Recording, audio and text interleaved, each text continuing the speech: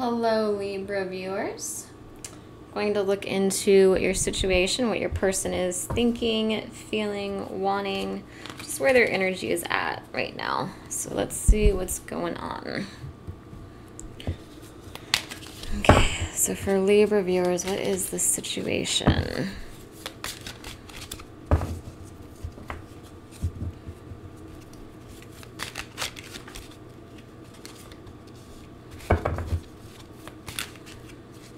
What is going on with Libras?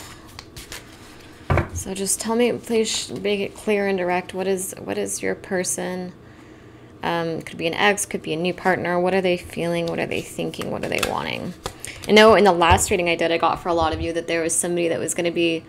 Um, it seems like a gay or lesbian relationship for a lot, not for all of you, but for some of you, or just some kind of relationship where society, like so, like your family didn't approve, or there were like some kind of differences, like religious differences, or there's something like that. But this person was aware that they that you're their soulmate, their person, the person they want to spend their life with, um, and so they were coming back around. You know, they were gonna follow their heart and finally stand up for you, whether they're standing up to friends that spread rumors about you or family that just, you know, didn't didn't approve of, of you too or whatever it might have been. I just got that energy that that there was um basically somebody was just yeah, they were standing up for you. They were standing up for love. It was a very romantic, very beautiful love story too.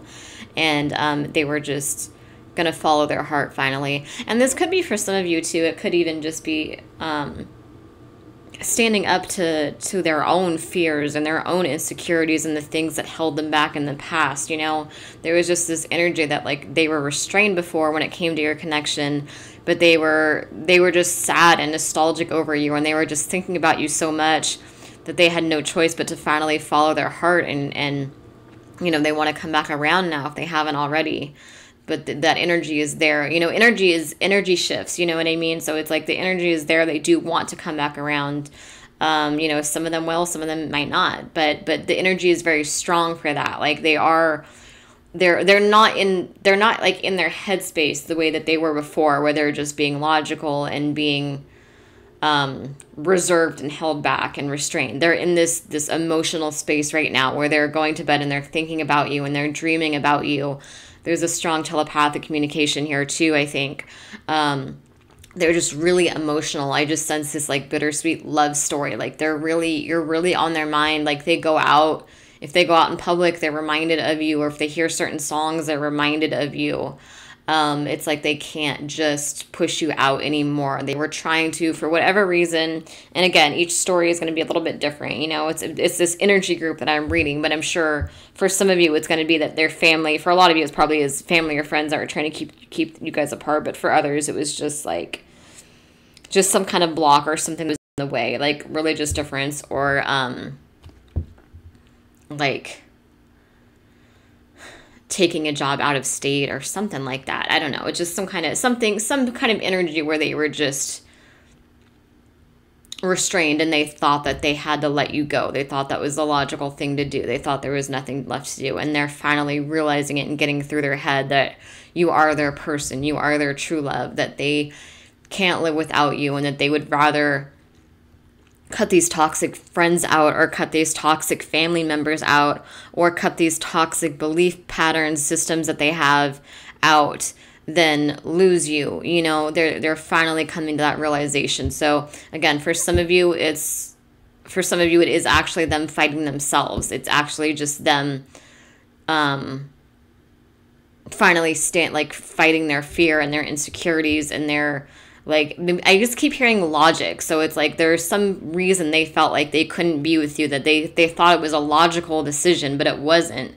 Um, but in their head it was like they had to they couldn't be with you. There was some kind of whatever it might be there was something there that was like logic. Could even be like a third party situation or something where they like they chose the wrong person and they're like you know what? Fuck i can't get over this other person though um, you know, even if I, even if you've, if they've known the other person longer, they still know that what they have with you is special and different and unique, and they can't just forget it. You know, whatever it is, they're just, whatever it is, they're they're just they they just yeah they just can't forget you. So they might, maybe they've been a logical reserved, you know, been hot and cold, or been kind of cold with you in the past, or been, you know, um, not like not cruel. They this wouldn't this person wouldn't be cruel if it, if it's someone that's cruel and it's not that's not the same energy that I'm picking up.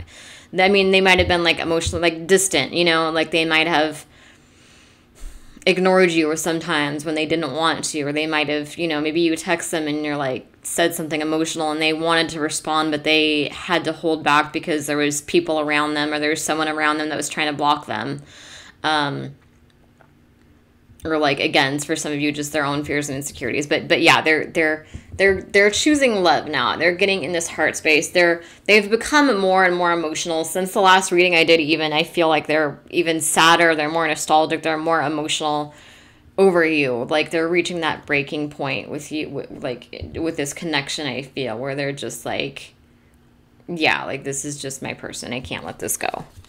Um any additional cards here see what we got.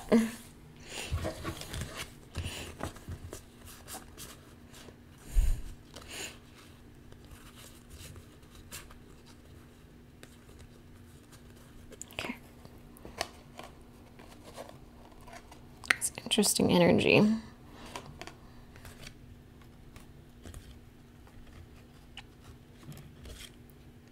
I also get a lot of feeling of um,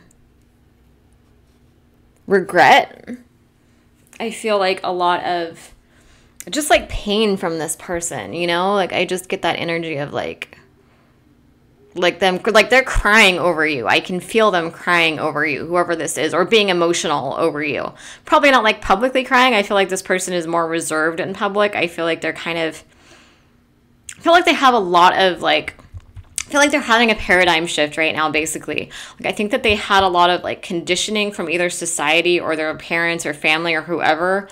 Um, and they're kind of like breaking free of that now. I feel like they were the like more logical and reserved in the past, and you probably brought out this more sensitive and emotional and free spirited side. Like they felt like a child with you almost. Like I don't does that make sense? Like they felt like their true selves. You know what I mean? Like there was like a side of them that they had suppressed that they didn't show anybody, and that came out with you.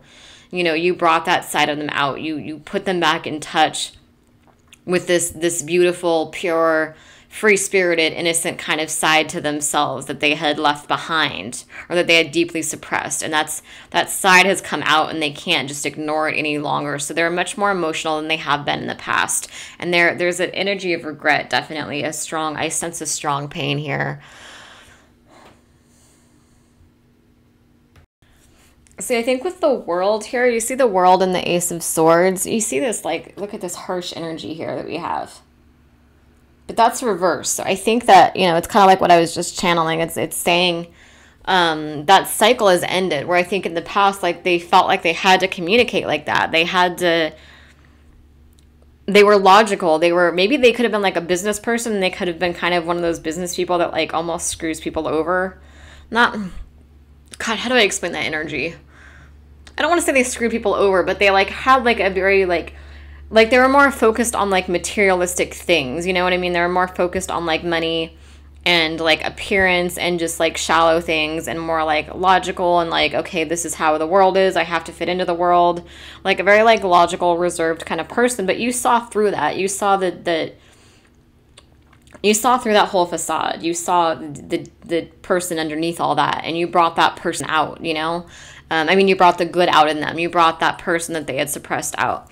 So that's kind of like saying the cycle is ending. The cycle where they communicate in a harsh way, or they're distant, or they're just they have this killer be killed mindset, or they're just logical, shallow, or appear shallow to most people that don't know them.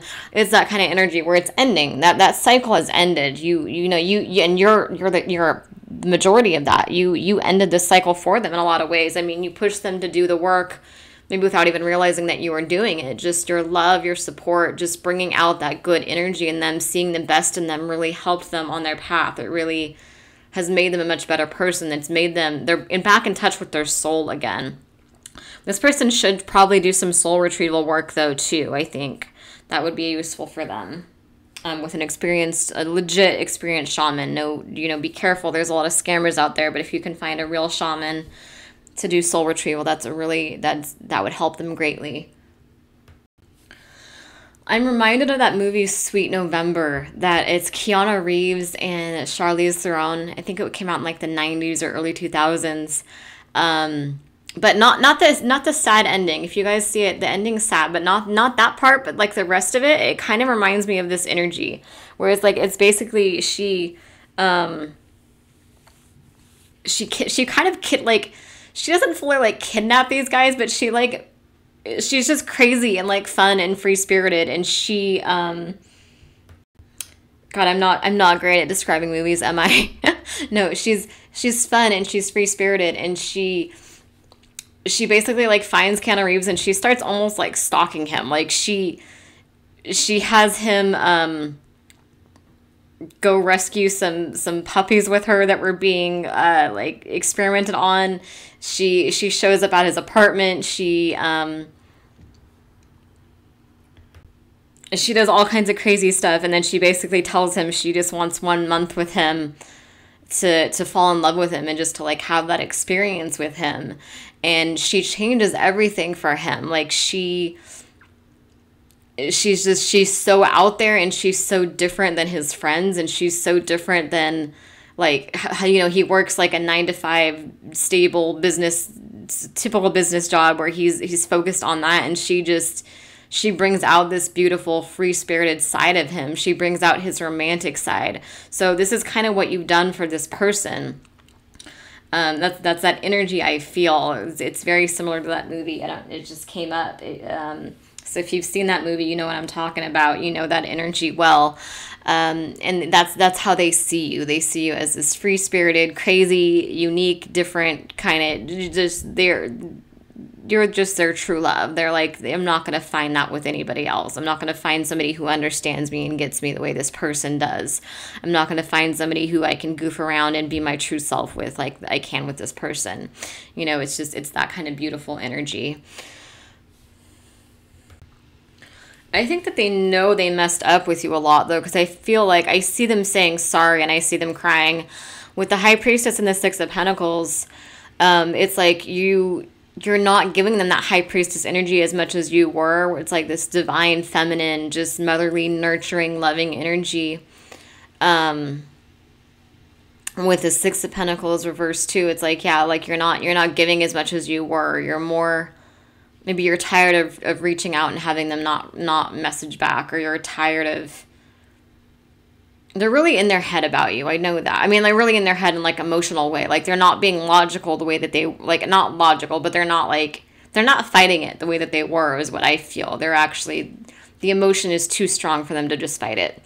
Um with the 2 of pentacles though, I think that they are aware that they really need to they need to find a balance, but they know that they need to make this choice. You know, they need to come forward, and they are. It looks like they are coming forward. Um, with the chariot.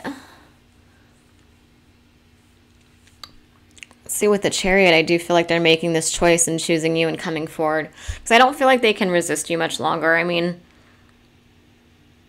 there might still be some kinks to work out. There might still be, there might be like a third party situation, and there might still be some people they need to stand up to. But I feel like they I feel like they know that that whatever their future looks like, they need you in it. Like I think that they've come to that conclusion and that awareness. You know what I mean? Like they might not know what to do next specifically, but they do know that they need you in their life with the devil card here, I feel like maybe like addictions are just, you know, being overly logical or just old patterns are ending now. You know, it's reversed. They know that they're they're pushing through that. So they're probably doing a lot of inner work too, pushing through that kind of energy. And they're trying to come forward to you with the chariot and the king of pentacles. They're trying to come forward um more stable, more balanced, more grounded, more um I mean, they're still they you still bring out that free spirited energy. Like they're coming to you as themselves, but they're trying to come in the when I say more grounded and more stable, I mean in the sense that they're they're not wanting to come back and like have it be how you know have the the toxic family or friends or the toxic mentality that they had or whatever they're wanting to present a more stable love offer to you they want to present something that's more um more solid. Like they want to make sure they have things figured out. You know what I mean? They don't want to. They want to make sure they're not going to hurt you again. So they're they are they are thinking about things, but they're just they're so emotional though. So I don't know how much longer they're going to be able to resist this. If this is your story and this is your person, like you probably can feel them crying. You can probably feel them missing you. It's that intense. So that's where they're at. Um, and thank you guys for watching. If this resonates, please go ahead and subscribe. I, I do frequent third party readings. I do, um, I usually do one or two of these um, kind of in depth readings once a month. I do, um, yeah, all kinds of different readings. So if this resonates, go ahead and subscribe. Thank you guys for watching. Oh, and if you want to book a private reading from me, um, my email address is below.